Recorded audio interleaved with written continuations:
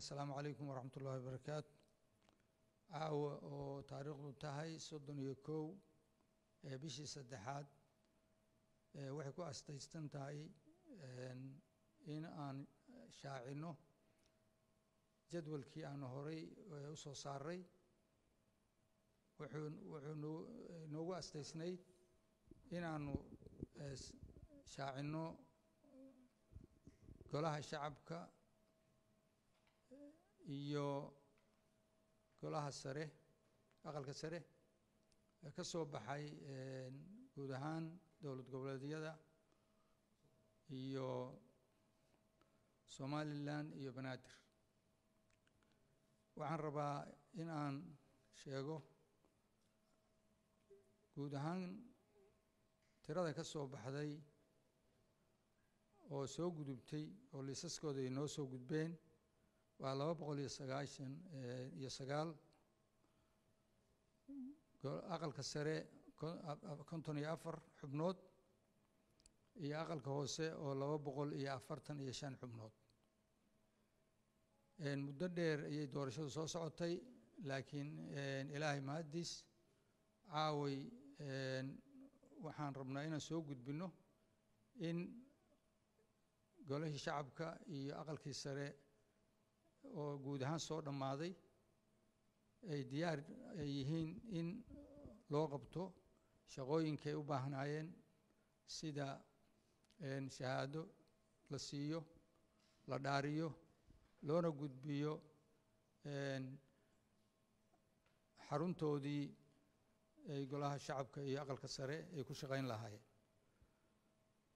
Wakti dheer bay soomaalidu eegeysay laakiin caaway waxaan ugu bashaaraynaynaa in aan shaacinnay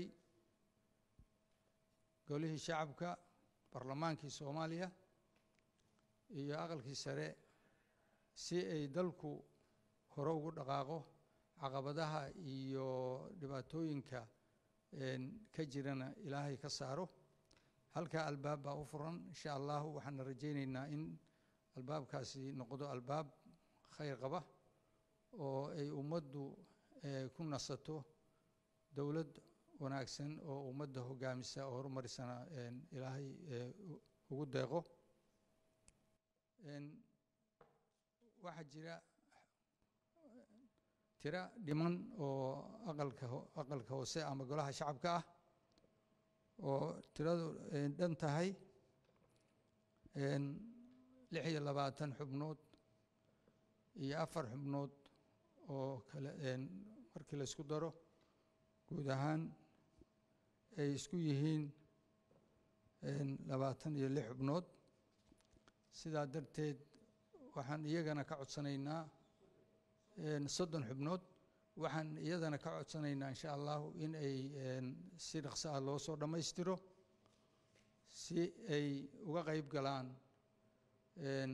doorashooyinka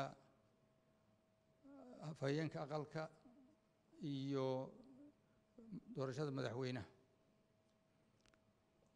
waxaan insha allah kaleeto oon rabaa inaan dadka u sheego.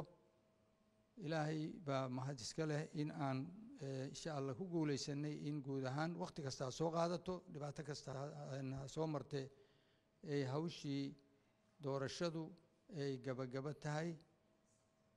Loona baahan yahay insha allahu in sidaas loola socdo. Ay dhaqsana dowladdiinoo ku dhismi doonto maan rajaynaynaa waxaan hadkan ku wareejinayaa waxaan kaloo rabaa in golaha shacabka iyo aqalka sare dhammaan xubnaha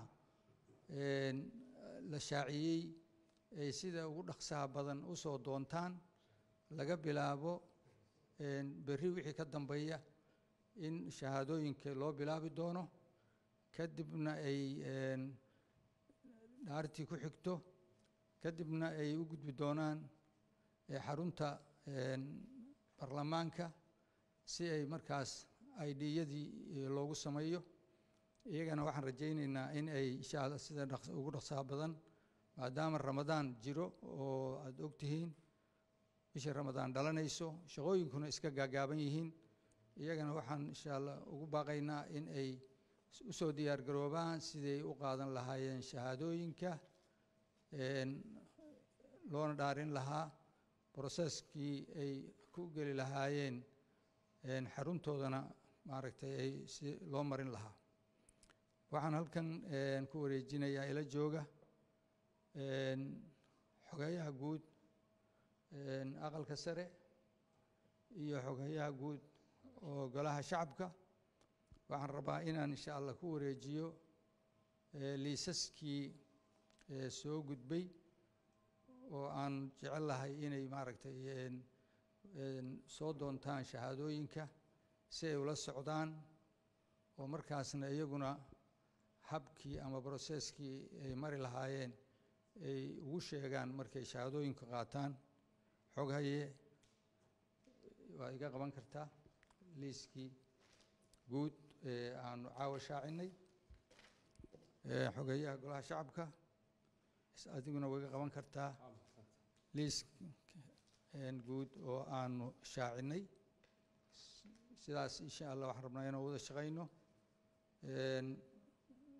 guud ahaan golaha shacabka iyo aqalka sareba xubnaha liisaskaas lagu soo gudbiyana waxaan rajaynaynaa inay insha allah xafiiska guddiga ay iska soo xaadiriyaan si loo siiyo shahaadooyinkii kadibna ay markaas u gudbaan xarumaha aqalka sare iyo golaha shacabka si broseska kaleeto loo mariyo